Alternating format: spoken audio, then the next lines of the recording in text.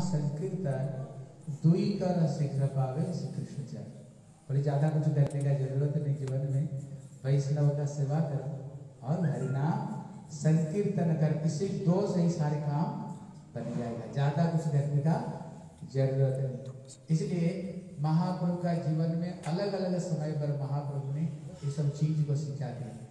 जिस समय महाप्रभु गुंडीचा मंदिर मार्जन कर रहे थे, महाप्रभु बोले, देखो ठीक से मार्जन करना। अगर जिसका कौन कितना मार्जन किया नहीं किया, पता कैसे चलेगा?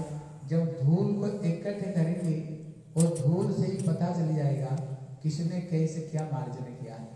हैं? और महाप्रभु बोले, देखो, जिसका धूल कम होगा ना, उसको वैष्णव सेवा चलो शिला प्रभुपाद इसी विषय पर कहते इसका तात्पर्य क्या है? कहते, इसका तात्पर्य है गुंडीचा मंदिर नहीं और राधा रानी की ये हृदय है।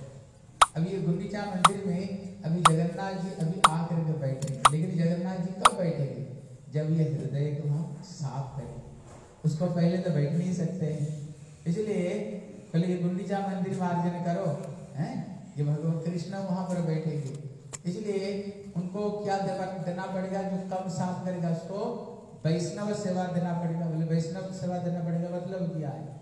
मतलब ये हृदय को जो ठीक ठीक से साफ़ नहीं कर सकता है, प्रभुपाद कहते उसको कल्याण कैसे होगा? बोले, उसको कल्याण तभी होगा जब ये वैष्णव सेवा करेगा। क्योंकि छाड़िया वैष्णव सेवा निस्तार प्रिय वैष्णव सेवा छोड़ करके जगत में किसको निस्तार मिला है? लेकिन जब हम वैष्णव का सेवा करेंगे, वैष्णव, श्री रघुनाथ दास गोस्वामी का जीवन में देखो। रघुनाथ दास गोस्वामी बारंबार महाप्रभु को पाने के लिए चाहते हैं, बारंबार आते हैं, लेकिन उसको पिता क्या करते हैं? बारंबार उनको पकड़ पकड़ कर ले आते हैं। हाँ जब श्री नित्यानंद प्रभु से मिले, तब उन्होंने क्या बोले? बोले, चोरा। उनको बोले, तू चोर हो। राधा कृष्ण संपत्ति मेरे हैं। लेकिन मेरे को बिना बोले अभी तुम इसको चुराने के लिए चाहते हो? तुमको दंड दूँगा। बोले, क्या दंड? बोले, वैष्णव सेवा देखो वैष्णव जगत में दंड भी बहुत बढ़िया चीज़ है। दंड क्या है उत्सव है दंड क्या है उत्सव है। वैष्णव जगत दंड भी बहुत अच्छी चीज़ है, हैं? इसलिए जब श्री रघुनाथ दास गोस्वामी है सारी वैष्णव को उन्होंने सेवा की। बस, महाप्रभु संतुष्ट हो गए। नित्यानंद प्रभु आकर भजन किए। महाप्रभु आकर भजन किए। नित्यानंद प्रभु अपना चरण को सर पर दिए। उसको बाद में जब श्री रघुनाथ दास गोस्वामी गए गए तो गए, फिर उनको कोई दोबारा वापस नहीं इसलिए यहाँ शिक्षा देते हैं, जब तक हम वैष्णव की सेवा नहीं करेंगे, तब तक हमारे कल्याण होने वाले नहीं। इसलिए श्री नारद जी, श्री व्यास देव को यही बात बताए। बोले जितने जल्दी से जल्दी मैं कृष्ण का कृपा पात्र बना के बोले, केवल एक कारण है, केवल वैष्णव सेवा है। मैं वैष्णव का सेवा करता था, उनके लिए आसन बिछाता था, उनके लिए प्लेट लगाता था, उनके लिए नींबू, लवण मिर्ची देता था वैष्णव लोग जो प्रसाद पाते थे, उनको साफ़ करता था। वैष्णव को जो आदेश देते थे, वो आदेश को मैं पालन करता था। इसलिए विश्वनाथ कहते हैं, सबसे जल्दी से जल्दी अगर जीवन में कोई भक्ति पाना चाहते हैं, क्या वैष्णव सेवा? ये इतना इतना सहज उपाय है भगवत प्राप्ति करने का, और जीवन में कोई भी उपाय नहीं। इतने वैष्णव की महिमा कृष्ण स्वयं कहते हैं अनुब्रजामि अहम नित्यम पुए एक अंधेरे रेणु भी कहते, साधारण व्यक्ति की बात ही छोड़ दो। कृष्ण स्वयं कहते हैं। कहते, ये वैष्णव का पीछे पीछे पीछे पीछे मैं भी चलता हूँ। बोले, क्यों? बोले, इनका जब चरण धूल उड़ेगा, जब मेरे सर पर पड़ेगा पूरे मैं पवित्र होना चाहता हूँ। बोले, क्या आप क्या अपवित्र हो गए हो क्या? आप पवित्र होना चाहते हो? बोले हाँ। बोले, क्यों? बोले, ये वैष्णव का सेवा लेते लेते लेते ना मैं नहीं बन गया। क्योंकि वैष्णव लोग दिन भर मेरे सेवा करते हैं। अगर मैं इनको कुछ बोलता हूँ ना, भैया कुछ ले लो। लेकिन वैष्णव लोग क्या देते हैं? न धनम, न जनम, न कविता जगदीश कामे ममा जन्मनि जन्मनि स्वरे, भवताद भक्ति आहे तुकी कोई प्रभु। केवल एक ही चीज़ चाहता हूँ हमें इस जगत का किसी चीज़ की ज़रूरत नहीं खरीदना भी। न नाग पृष्ठम न चपार मेष्टम न सार्वभौम, न रसाधिपति हाँ ना जगह सिद्धि का पुनर्भवा। वो कुछ नहीं चाहते हैं। केवल भगवान का विरह चाहते हैं। उनका चिंतन में डूबना चाहते हैं। इसलिए भक्त लोग तो मेरे से कुछ लेते ही नहीं। अगर फिर मैं बोलता हूँ, कुछ लो ना, फिर क्या कहते हैं? आपका चरण की सेवा हमें इसलिए इनसे मैं ऋणी लेते लेते लेते थे इतने ऋणी बन गया। हाँ इनका ऋणी से उर्णी बन नहीं पा रहा। इसलिए फिर मैं क्या करता हूँ? इनकी अगर किसी तरह से भक्तों का चरण धूलि ले लेना, शायद मेरे उधार ऋणी से उर्णी बन सकता हूँ। लेकिन कौन वैष्णव, ऐसे होगा जो भगवान को चरण धूलि देगा? भक्त तो चरण धूलि देगा नहीं। इसलिए कृष्ण कहते हैं, जब भक्त चलते हैं, फिर मैं छुप छुप करके उनको पीछे पीछे चलता हूँ। क्योंकि धूल तो उड़ेगा ही। उड़ेगा तो जब मेरे सर पर बर्फ़ पड़ेगा, फिर क्या होगा? मैं ऋणी से उर्णी हो जाऊँगा इसी विषय पर श्रील विश्वनाथ चक्रवर्ती ठाकुर बहुत अच्छी बात कहते हैं। भगवान क्यों भक्तों का चरण को लेना चाहते बहुत अच्छी बात कहते को ये भक्तों की कितने महिमा, हैं? ये भक्तों की कितने महिमा ठाकुर जी यहाँ स्वयं स्थापन करते हैं। क्योंकि जो कृष्ण है, वो विषय विग्रह है। और जो भक्त है, वो आश्रय विग्रह लेकिन भक्त सेवा करते हैं भगवान को। अभी ज़्यादा आनंद किसको होनी चाहिए? जिसका सेवा करेगा तो आनंद होनी चाहिए ना। लेकिन नहीं, वो उल्टा होता है। भक्त जब भगवान को सेवा करते हैं, भगवान को जो आनंद मिलता है, इस जगत में महाप्रभु रूप में क्यों आए कृष्ण? कृष्ण सोच रहे हैं, भक्त तो मेरी सेवा करते हैं, लेकिन मुझे जो आनंद प्राप्त होता है, राधा रानी को उससे करोड़ों गुण ज़्यादा आनंद होता है। एक, दो, दस, बीस नहीं उससे करोड़ों गुण राधा रानी को आनंद होता है। इसलिए कृष्ण सोचते हैं, भैया, ये राधा रानी का प्रयत्न है क्या चीज़ राधा रानी के शरीर में जो दिव्य उन्माद चित्र जल्प अभिजल्प प्रजल्प ये जो दिव्य उन्माद मेरे अंदर में तो सब चीज़ होते हैं ये तो राधा रानी के अंदर में होता है। इसलिए भक्त आश्रय विग्रह, भगवान भगवान विषय विग्रह, लेकिन जो आश्रय विग्रह का जो आनंद है अभी विषय विग्रह कृष्ण को ये वस्तु प्राप्त नहीं। अभी कृष्ण चाहते हैं, अभी आश्रय विग्रह का आनंद को कैसे ग्रहण करो? कहते कैसे ग्रहण कर सकते बोले, भक्ति। भक्त लोग भक्ति को द्वारा, बोले, भक्ति रहे वही भक्ति रहे वैव दर्शयती। भगवान को दर्शन कौन कराएगा? भगवान को पास में कौन ले जाएगा? ये भक्ति ले जाएगी। लेकिन भक्ति के बगैर कुछ नहीं होगा। लेकिन भक्ति कहाँ पर है भक्ति भक्तों का हृदय में ही ये भक्ति है, हैं? भक्तों का हृदय में ही ये भक्ति। अभी प्रश्न है कि भक्ति मिलेगी कैसे? इसलिए नरोत्तम दास ठाकुर कहते हैं, ये भक्ति केवल तीन चीज़ को द्वारा जितने जल्दी मिलेगा और कोई उपाय नहीं, उतना जल्दी ये भक्ति को कोई प्राप्त कर सकते हैं। कहते ये तीन उपाय क्या है? बोले, भक्त पद धुली आर, भक्त पद जल, भक्त भुक्त शेष तीन साधन निर्भर ये जो तीन जो वस्तु, ये तीन चीज़ जल्दी से जल्दी भक्ति देने वाले एक भक्तों का चरण धुली दूसरा चरणामृत, तीसरा कथामृत व उनकी अधरामृत। कहती ये तीन चीज़ ही जल्द से जल्दी भक्ति दे सकती है। इसलिए कृष्ण सोच रहे हैं इसमें एक क्या है? भक्तों का चरण धूली इसलिए कृष्ण सोचते हैं, अगर मैं भक्तों का पीछे पीछे पीछे पीछे अगर चलूँगा अगर भक्त का चरण धूलि मेरे सर पर गिरेगा, इसको द्वारा क्या होगा? भक्ति होगा। भक्ति मिलेगी। जिस भक्ति को द्वारा मैं ये भक्ति रस को आस्वादन कर सकता हूँ। इसलिए कलयुग में कृष्ण स्वयं विषय विग्रह होते हुए भी, हैं? अनंत कोटि विश्व ब्रह्मांड का मालिक होते हुए भी, जगत का सब कुछ होते हुए भी, लेकिन होते हुए उन्होंने क्या किया?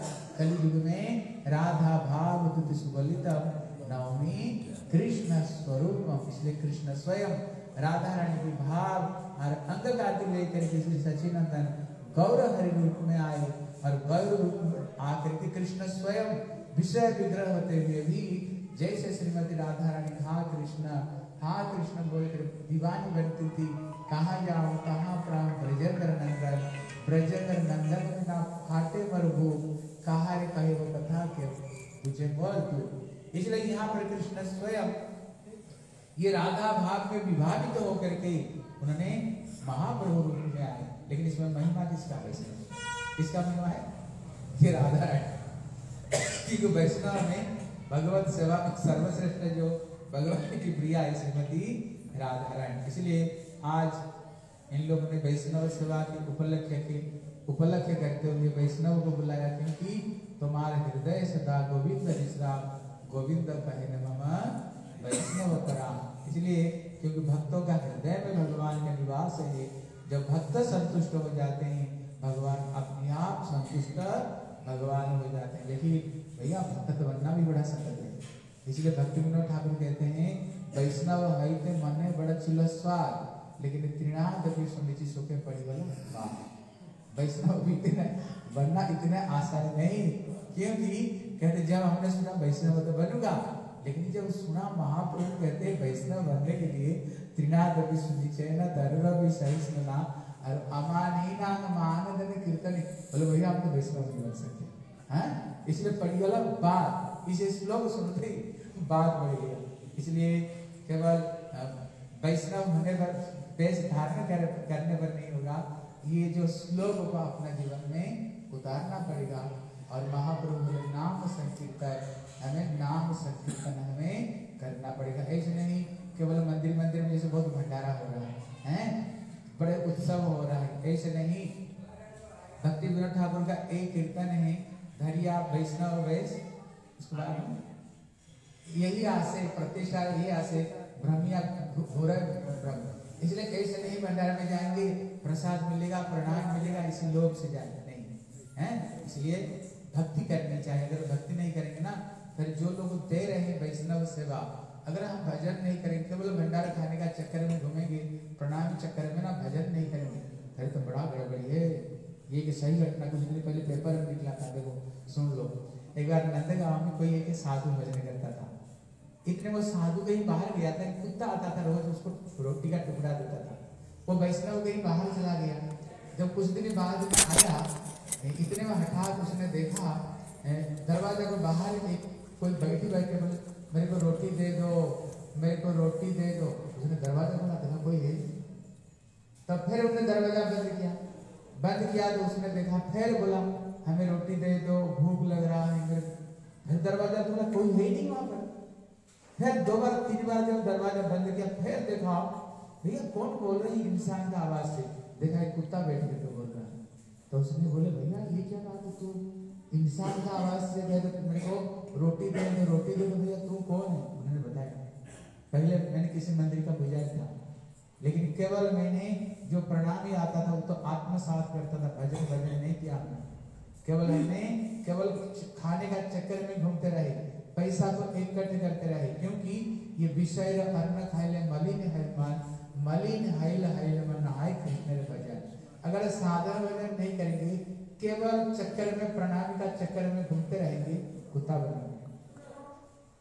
इसलिए रामायण में भी एक कथा आती है, वहाँ पर भी कोई एक ब्राह्मण जा रहा था, कुत्ता सोया हुआ था, उसको मारा तो राज दरबार में आकर शिकायत थी क्या, ब्राह्मण मेरे को मारे। तो उन्होंने पूछा, क्यों मारे? बोले, रास्ता में सो रहा था, मैं ठाकुर को पूजा करने जा रहा था। बोले, ये मारना अपराध है। उसने बोले, बताओ इसको क्या दंड दिया जाए? ये कलिजर मठ का इसको महंत बना दो। बोले, क्या? वो तो बहुत बड़ा प्रॉपर्टी उसकी है। उसका कह रहे हो महंत बनाने के लिए? क्या चक्कर है? बोले, पहले मैं वही का महंत था। पहले मैं वही का महंत था। जितने ठाकुर को सेवा में जो आता था, अब देखना कुत्ते कोई चीज़ देख लेना फिर भोग नहीं लगता क्यों? बड़ा भोग बुद्धि से देखता है। इसलिए मैंने ठाकुर को सेवा में जो आता था, उसको मैंने केवल भोग बुद्धि में देखता था, भोग करते थे, मेरे कुत्ता बनना इसलिए कहते साधु सावधान। दूसरों को सावधान नहीं कहते साधु सावधान। इसलिए केवल प्रणाम के चक्कर में नहीं, सचमुच से भजन करें। क्योंकि जो विषय व्यक्ति जो पैसा देता है, ऐसे नहीं पैसा देता। जैसे दस रुपया दिया, हमारे महाराज कहते दस रुपया हमें दिया, दस रुपया नहीं दिया। हमारे घर में ये समस्या, बेटा का चाकरी नहीं, बेटी की चाकरी में शादी हो जाए, घर में ये हो जाए, ये। इसने कितने पाप उसने दिया आपको बता नहीं। अगर वो दस रुपया अगर गुरु वैष्णव के सेवा में लगे, वो पैसा नहीं। कहती जहर है, ये जहर है। देखो ये भक्ति परिवार में कैसे हुआ स्वामी महाराज का? कि कोई शिष्य थे उन्होंने भिक्षा में गए हाँ। इसलिए उन्होंने भिक्षा में गए। उन्होंने पच्चीस रुपया उन्होंने भिक्षा में लाए, हैं? पच्चीस रुपया, उन्होंने दिया बीस रुपया। तब भक्ति प्रज्ञान केशव गोस्वामी महाराज? कितना भिक्षा में लाया था? बोले, पच्चीस रुपया। बोले, बीस रुपया, अब पाँच रुपया क्या, कहाँ गया? तो उन्होंने बोले, मेरे खर्चा वर्चा कुछ है नहीं। मेरे को यहाँ जा रहा हूँ, वहाँ जा रहा हूँ, वहाँ जा खर्चा नहीं। पाँच रुपया रख दिया तो मैं बस में जाना पड़ता है। तो वो कहते हैं, जानते हो ये पैसा क्या? वो पैसा नहीं, वो जहर दिया। इसको हजम नहीं कर सकते हो, क्योंकि ये भिक्षा की पैसा है। वो ऐसे नहीं दिया कितने कामना वासना करके तुमको ये पैसा दिया है। है? कितने कामना वासना करके? वो जहर है इसको हजम नहीं कर सकते निकल पाँच रुपया निकाल। जब उन्हें पाँच रुपया दिया है फिर भक्ति प्रज्ञान केशव गोस्वामी उल्टा उनको दस रुपया दिया। बोले, ले, मैं इसको पवित्र कर दिया गुरु जी के हाथ में दे करके ठाकुर का चरण में उसको ले, लेकर के उसको फिर ये करो। इसलिए नियम है, ये जो विषय का जो अन्न है, वो विषय का अन्न। इसलिए हमें भक्ति करना पड़ेगा, भजन करना पड़ेगा इसलिए इतना हरिनाम करे, इतने भजन करे, उसका ऋणी से मुक्त होकर के। कभी कभी देखो वृंदावन में क्या होता है ना बैंक में साधु लोग बहुत पैसे जमा करते हैं। करते करते लास्ट में हमारे कोई शिष्य था खुद बोल रहा था, महाराज अब सोच नहीं सकते साधु लोग कितने पैसा बैंक में रखते हैं। लास्ट में शरीर छोड़ देता है, कुछ भी, जितने पैसा रहे, पैसा, अधिकांश पैसा, ये साधुओं का पैसा है। कहते, अब घर में अभी संतों का चरण नहीं बैंक में चरण धुली पड़ता है। था चरण धुली पड़ता है इसलिए जो विषय का जो करना इसको सावधान से जो एक एक पैसा देते हैं, उसको सचमुच से गुरु वैष्णव सेवा, ठाकुर को सेवा में लगे तभी कल्याण है तभी हमारी मंगल हो सकता है। वाचा कल्पद्रव्यस्य कृपा से पतितानां पावनेभ्यो वैष्णवेभ्यो नमो